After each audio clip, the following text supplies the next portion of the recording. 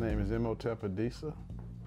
I am the Cosmic Slop Director. My name is Diop Adisa. My role is uh, instructor, consultant, so I help actually facilitate the workshops and the consultations and try to my best to transfer our knowledge to those that are seeking it. Culture is really about human beings and what we do and how we do it. Singing and dancing, what we eat, how we talk, how we dress, but also how we think. It's just about shifting from the culture that dominantly um, exists right now towards one that we feel we're more connected to.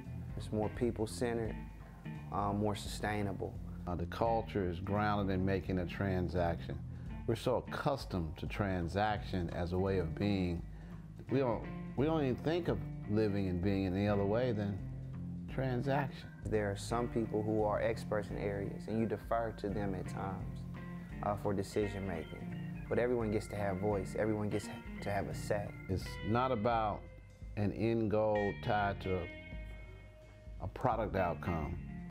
It's about providing tools for building leaders who are grounded in community, grounded in relationships over production. You have the tools and in some cases the relationships to create the desired future state you want to see today. The class that we're offering, its goal is to offer some insights, look at how do we change the current paradigm we find ourselves in, cultural shift.